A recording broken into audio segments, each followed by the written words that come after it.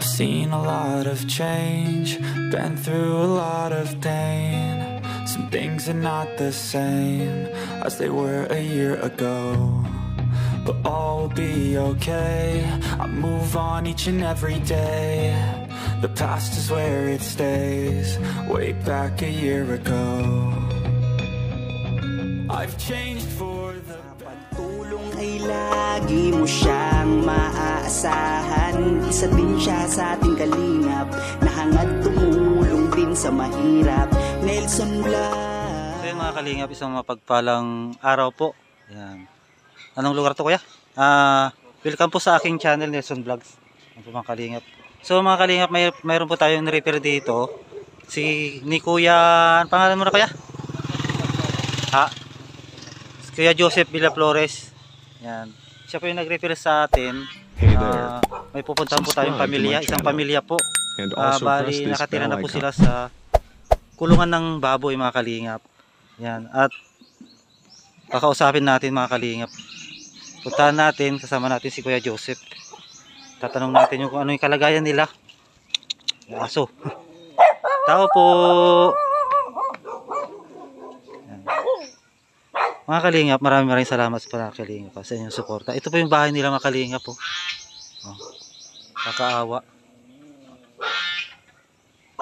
Ito po yung unang bahay nila yata. Tapos sa likod po, yung kulangan ng baboy ginawang tirahan na rin, tirahan nila. Kasi nga po, yung bali pag umuulan daw, mababasa sila sa loob. Mga kalinga po. Ay. Hello! So, pasok tayo mga kalingap. Hello po! Yan, magandang hapon. Yan. Ay, ano nay? Ay, ate. Kumusta? Ay, ito. Anong nangyayari sa bahay niyo? Ba't ganito? Epekto ng Ulysses? Hmm. Hindi na po namin naayos. Ah, bakit naman po? Kulang na po sa pera. Kulang na.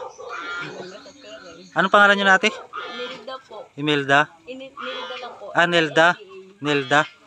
Ano, ilang taon na po kayo ate? 42 po. 42? Mm, may asawa na kayo? Meron po. Nga. Ayan po, pito anak. Ilan anak niyo? Pito? Dami ah. Nakabuo na kayo ng isang team. Mm. Yung mga anak niyo mga kalingap, nagtago sila eh. Na, baka nahihiya. Opo. So ano ngayon ang kinakahanap buhay niyo ate? Ano po, minsan na nakuha ko ng itlog. Lalako ng Itlog na maalat. iklog na maalat. Pero Eh. pag wala din pera, wala din po. Wala. Yung asawa po niyo anong trabaho? Ano po, minsan po nakaka-extra din ng ano, ng trabaho. Ah, so paano yan ate kung walang trabaho yung asawa niyo? Saan kayo kumukuha ng pang-araw-araw niyo? Ano po, minsan nga, nasanggi Tianggi? Ayun, yung gupong gabi na yun, binibenta ko yan. Saan po? Ayan, yun. Ah, yung mga bagi na yan. Ay, bagi. Gabi. Gabi. Ay, Bagi. kaya po niwala ako. Nakarang linggo, binenta ko yan. Ah, yung mga dahon lang kinukuha nyo? Po daw. Paano yung pag walang dahon na yung gabi nyo? ano ibibenta nyo? Ano, yung- anong kakainin nyo?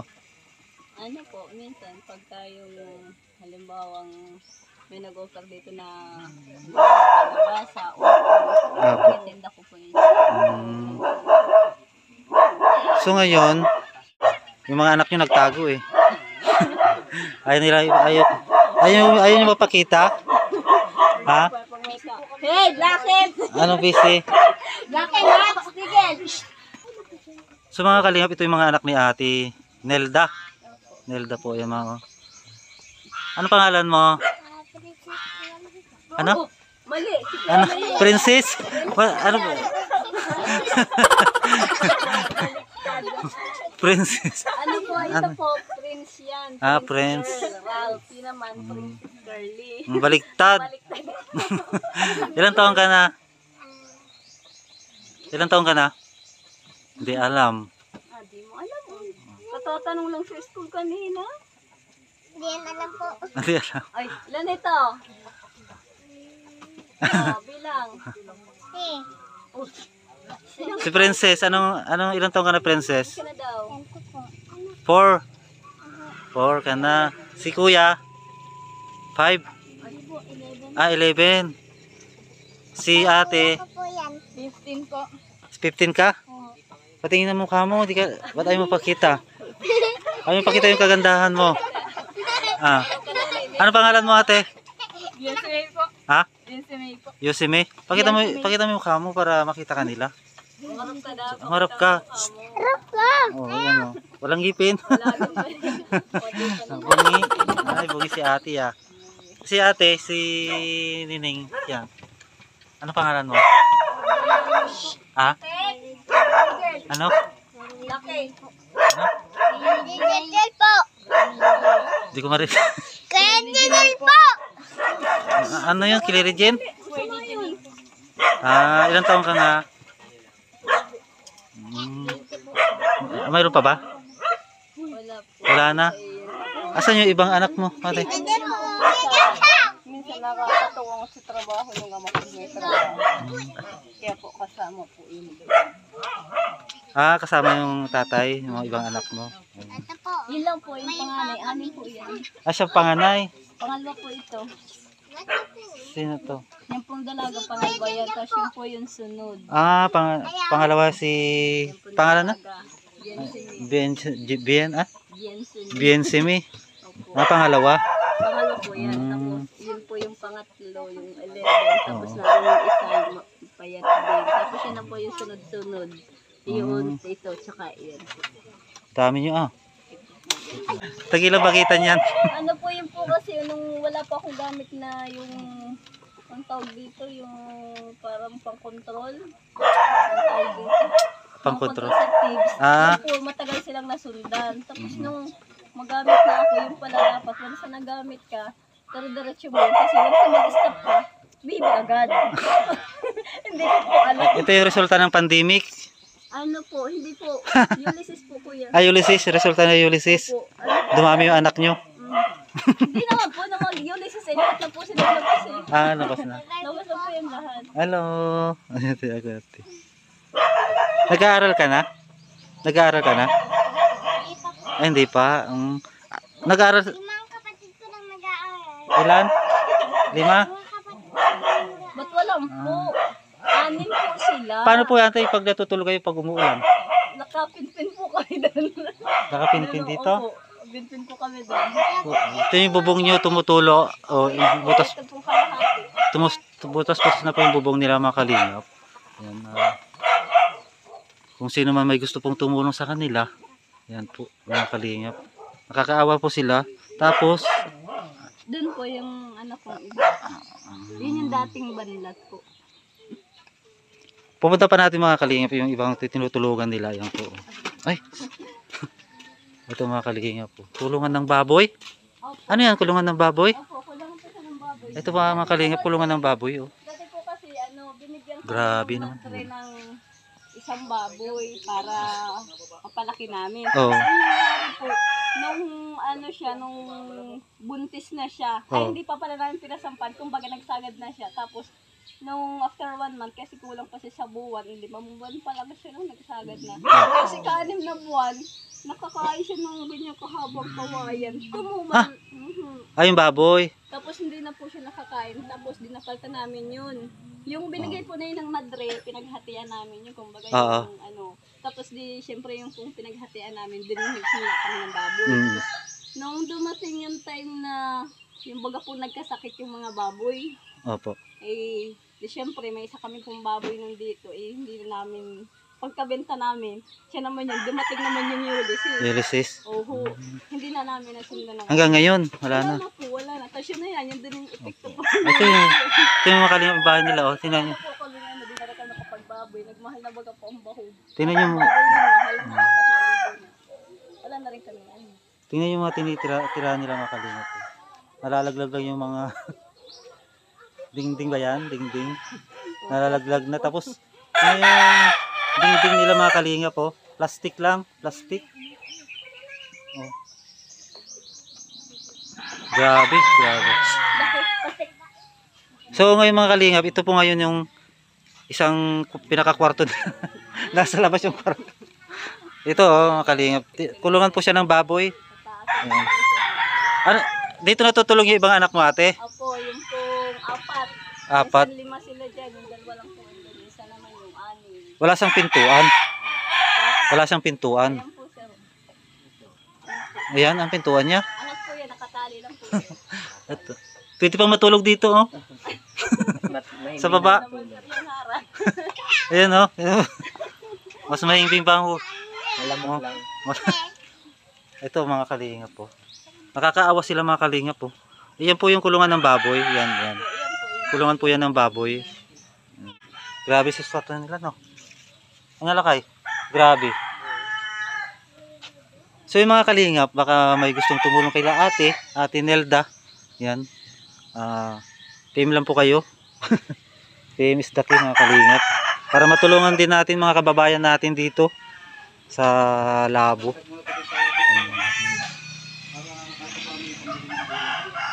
Anong masasabi mo lakay? Grabe. Yung mga ganitong mga klase ng pamumuhay, yun dapat talaga ng pinupukusan lalo na unang-una Oo. siyempre ng gobyerno. Dahil sa hindi naman nila talaga nakikita o napapansin yung mga ganitong klase. Ah, talaga nagpapasalamat din tayo sa Team Kalingap. Oo. Kasi Malaking tulong din yung team kalingap sana talaga. may makatulong at ah, nanawagan po tayo sa may mga mabuti pong kalooban na makatulong po dito sa pamilya. Mm. natin. So, yun lang po. Grabe. Nakakapanindig balahin. Tutulugan nila ang nakakaawa. Salamat lakay. Yan ah, support mo natin kapron di makalingap. Saka Raymond Agos kasama din natin makalingap. Ayun siya sa may motor niya. Ayan, Ah, ate. Ah, ngayon ah bibigyan kita rin ng kunting tulong. Ah, sa- hindi, bibi- dadagdagan ko yan. Ngayon, nagbigay po pala si Kapron di mga kalingap. Nagbigay kay Ate Nelda. Ayan, ah, tulong na rin niya. Bibigyan pa kita. Ayaw mo? Ha? Ayaw mo ate? Kasi. Oh, bibi. Ay, iba yung iba yung nakuha ko. ah, yung mga kalingap. Asan na ba yun? Ito pala, oh. Bigay ko sa'yo. Oo, tulong ko yan sa inyo. Ang dami yung anak. Baka kulang yan, kulang pa sa inyo. Na, napapagpisa naman po namin. Ha? Napapag- Anong ulam nyo ngayon? Wala po. Oh, wala. Ano, may bigas kayo? Ah, kunin mo na to. Malag-. Hindi, tumutulong talaga kami. Kilala mo si Kuya Bal? Bal Santos Matubang. O yan, kasamahan po kami. Sa inyo yan. Tulong namin yan sa inyo. Sige po. Salamat. Ah, parang ayaw mo pang tanggapin. Hindi. Yan. ah, Hindi nakakawa naman kasi ang kalagayan nyo, mga kalingap. Ayan po mga kalingap po. Hindi po kasi namin nasadadugtungan yung baboy. Nagdudugtong kami ng puhunan. Ano yung sarili nyo lupa to? Ay, hindi po. Ah, hindi. Mm. Napalis na po kami dito. Wala kami nalipatan. Ba, pinapa... Ha? Napalis na po kami dito. Bakit? Kasi po, kailangan yung... May-ari. Ah. Kasi yung may-ari po kasi dumating na galing ng Saudi. Ah. Ah, ibig sabihin hindi nyo lupa to? Mm. So, paano yan pag pinalis kayo? Sa kayo pupunta? Mag-isip. Kasi wala. Taga rito ba kayo?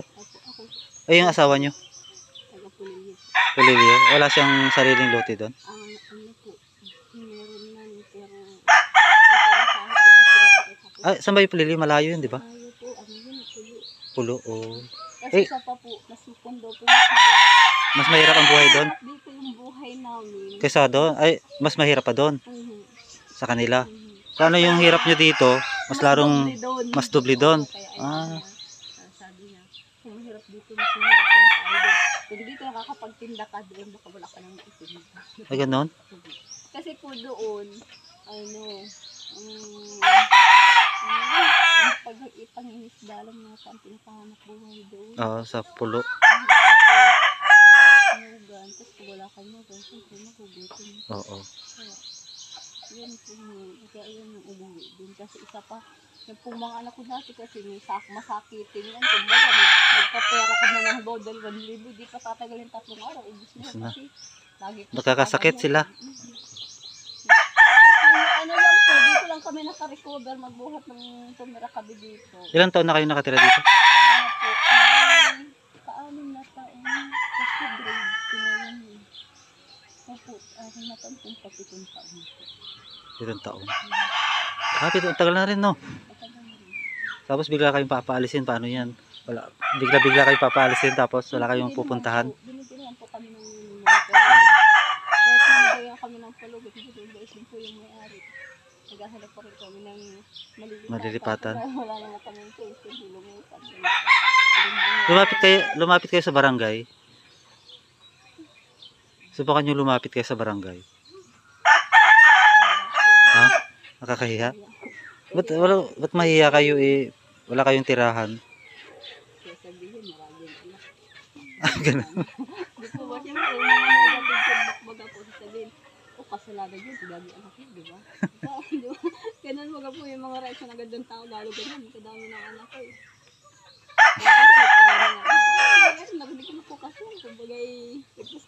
Eh. Oo nga. Mm, masakit din kasi yung panginggan ng pag ano, no? Hindi, mahirap po.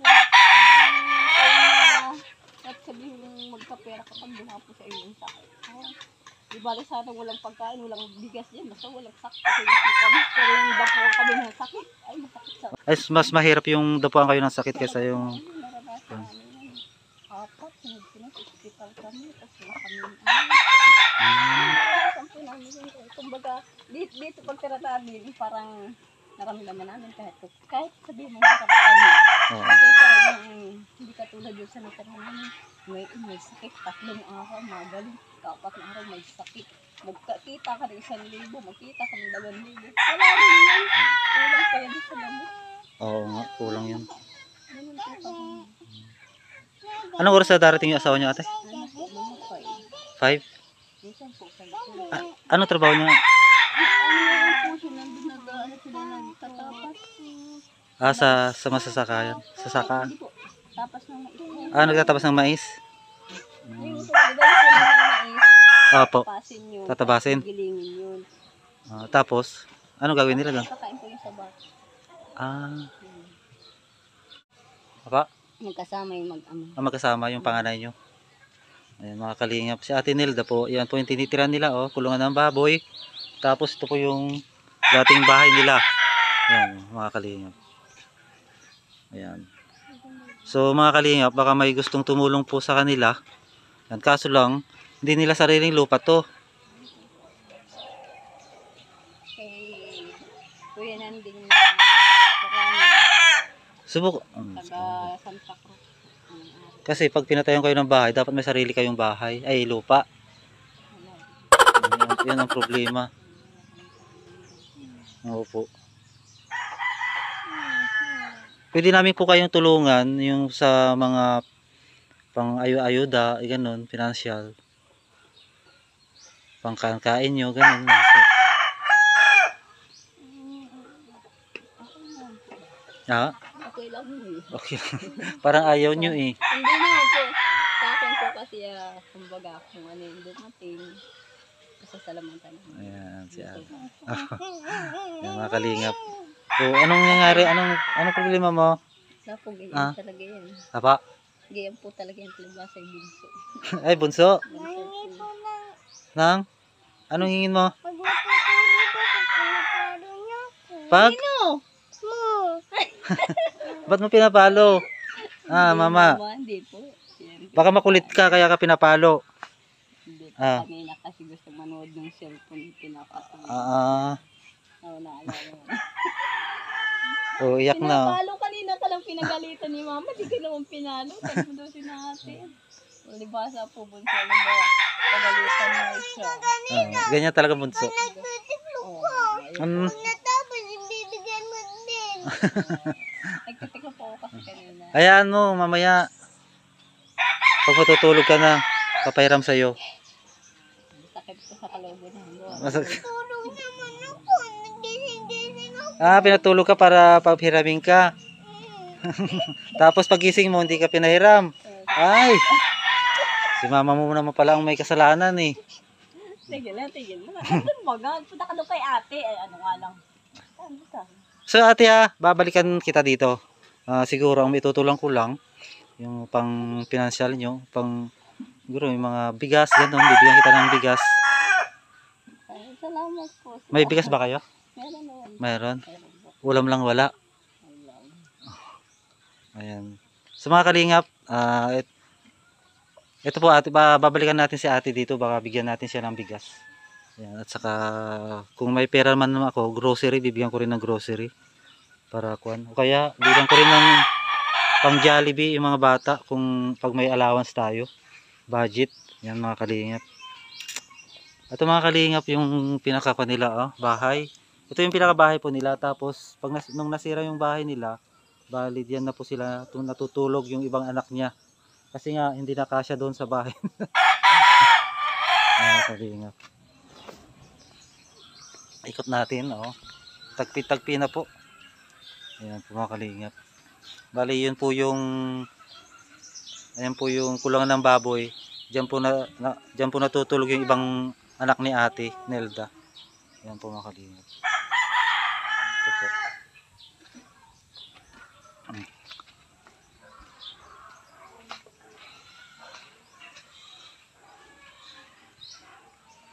So mga kalingap, ah